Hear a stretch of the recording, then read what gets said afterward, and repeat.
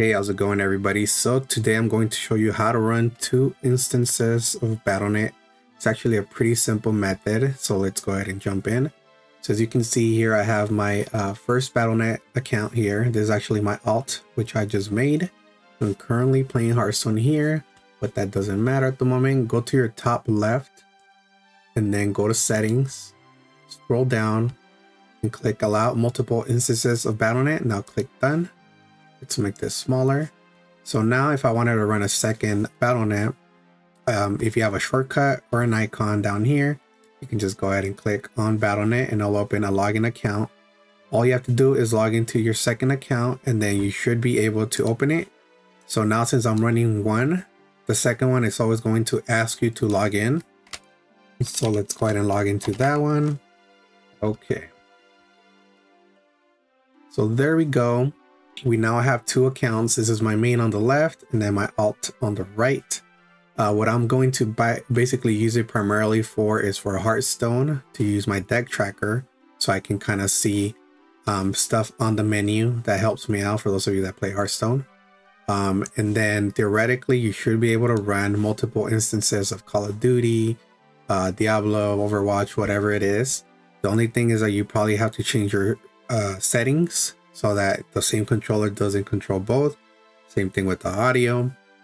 Unfortunately, I won't go into that just because I don't really want to try it out. Um, but yeah, one of the things that you can do so that, for example, if we see here, I'm running Hearthstone already on my alternate account, but it says playing now on my first one. What I've read is that you have to change where they're basically installed. That way, when you launch one, it doesn't affect the other since it's in a different uh, file location. So you can click on options, show in Explorer. And then as you can see here, I have the Hearthstone folder here. What I would do is copy and paste it to a different drive. And then that should help me out. That way I can select the second drive for this second account and then the first drive for this account and you should be able to play. Um, of course, you're gonna have to maybe change a few settings here and there. Again, like I said, for the whole uh, mobility and audio aspect, but you should be able to be good to go after that. Um, if you do have any questions, let me know. I'll be more than happy to help you out. Um, this method is working as of April 2025. So let me know if it doesn't work for you or if you have a better suggestion. Um, and yeah, for those of you that want to stay, let's see what we have on my alts. I played recently and I have a lot of those um, catch up for uh, packs.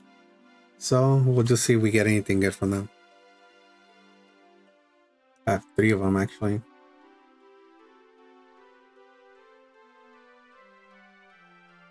Mm, okay. I think everything else is like common and whatnot.